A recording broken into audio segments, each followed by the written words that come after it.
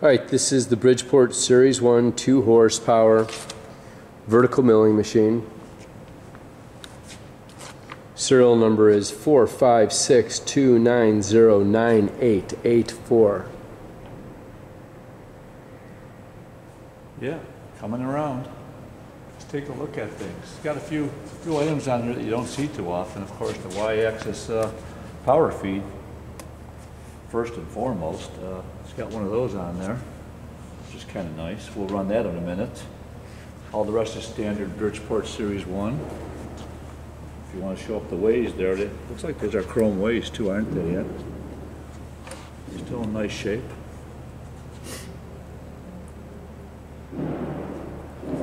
Table looks clean here, yeah. One lamp.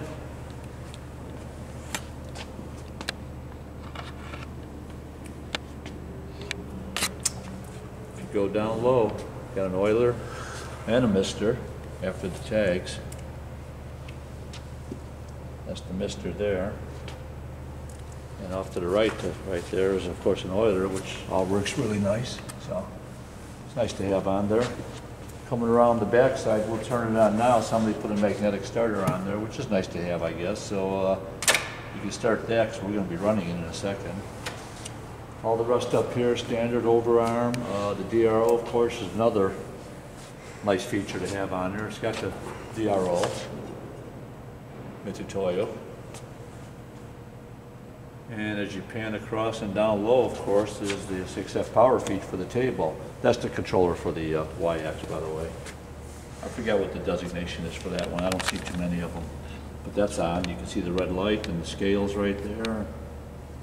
And this is on too. Both of them are ready to go. And in fact, we could, uh, we could, let's start with the spindle. We can, uh, yeah, that's all on, ready to go. We'll power up the spindle, do a couple of things, high and low range maybe. There's the DRO. In fact, I was gonna, if you wanna go back here, I'm just gonna, should be able to zero out. So, yeah, those all work really nice, so. We'll do that in a minute.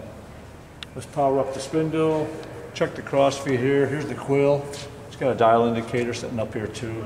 Uh, quill. And I think we got Bill Collard in here right now, so we can let that spindle go. Mr. And let's see, we're, range, uh, we're in high range. Let's start in high range. That's where we're at. So 700, you can kind of see it. We're at 700 and 1,000 feet is on. It's not bad, 1,400.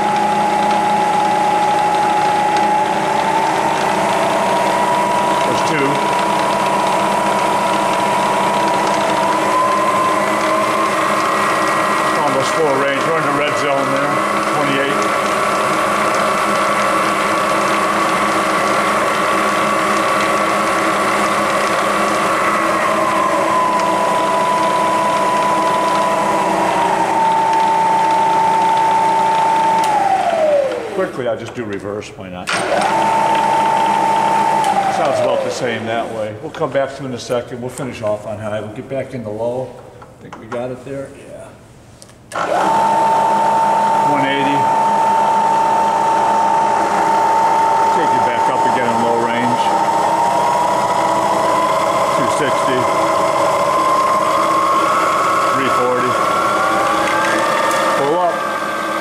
400, 420. So both high and low sounds really decent. And again, switching over is not a problem. The clutches and the engagement lever all seems to work real nice. Back up high again, 1800. We're good there. Here's the feed while we're on it. Uh, it's moving right there. It's all coming down. I think if we, if we can check the disengagement, that's that. So one more time. Coming down. That all works nice. Table lock, quill back up.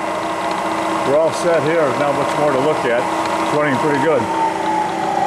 1200.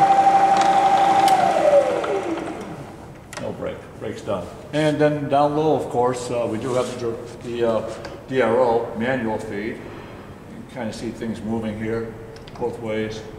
And the table feels really nice too. It's not bad. This all works good. We do the cross feed.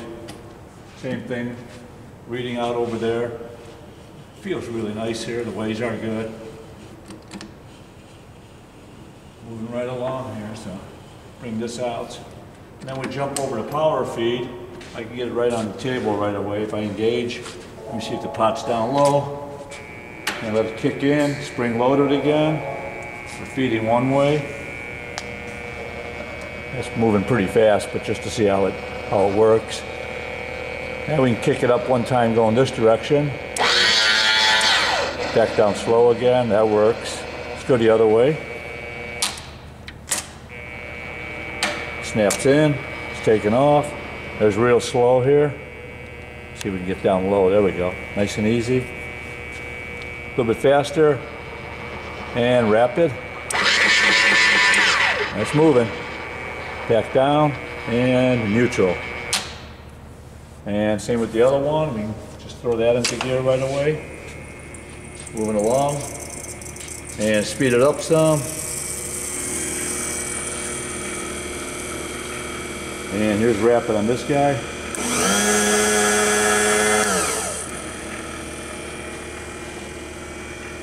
And let's go the other way. Whoops, kick in. Yeah, this one is, uh, it's falling out a little bit, but I don't know if we're not hitting the bar down there. I haven't really checked it out. Stays in, but I don't know if they got these things attached properly.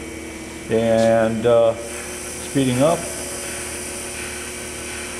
slowing it down, nice and easy. More of a realistic cutting speed there. And that's about it. If you can see, we're clocking up on top, you know, and uh, see the numbers rolling off. So that's about it there. I mean, yeah. Nice, easy feed. So, again, I'm not using the auto auto cutoff dogs, but they are in the bar here. There's one here, and that one's tight, and the other's one in the other end. See down here. So they got the auto cutoff dogs on here to kick out the uh, power feed. So that's it. I mean, the DRO works good. Spindle's fine. Overall, it's a it's a good running tool, really. Yeah, we're all set here.